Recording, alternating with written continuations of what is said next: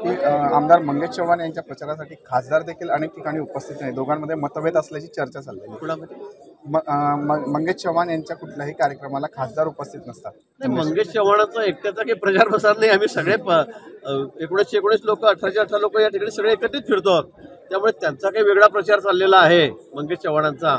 आणि खासदार काही वेगळं काही करत असं नाही. मग मी म्हणेन माझ्या प्रचाराला नाहीत म्हणते पण मला वाटतं एवढ्या लोकांची गरजही नाही आहे आम्ही सगळेजण युनायटेड आहोत म्हणून दाखवण्याचा प्रयत्न करतोय.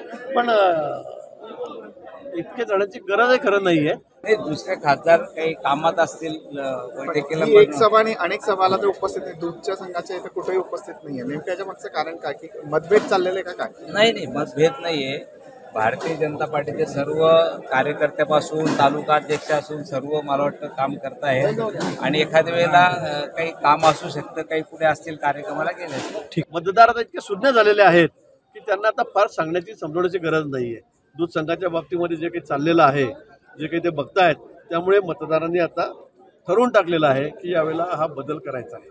शेतकरी पॅनेलच्या प्रचारासाठी आदरणीय नामदार गिरीश भाऊ नामदार गुलाब भाऊ आदरणीय चिमनाबा सर्व आमदार संजू भाऊ मंगेशदादा अ, माजी आमदार स्मिताताई व सर्व उमेदवार प्रचारासाठी फिरताय. लोकांचा कौल चांगला आहे आणि शेतकरी पॅनलच्या सर्व जागा निवडून येतील.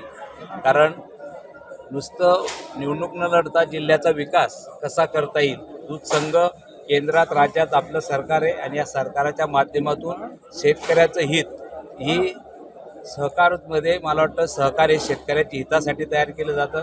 सहकारमध्ये शेतकऱ्याच्या हिताचे निर्णय घेतले गेले पाहिजे. दुधाला चांगला भाव मिळाला पाहिजे.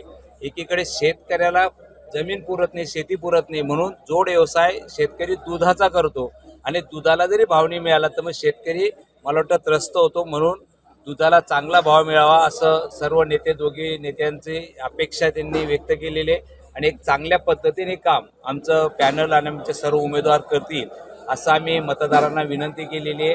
आणि नक्की शेतकऱ्याच्या हितासाठी आम्ही भविष्यात चांगलं की जळगाव जिल्ह्याचं दूध फेडरेशन हे महाराष्ट्रात एक नंबर राहील अशा प्रयत्नाने कामं करतील.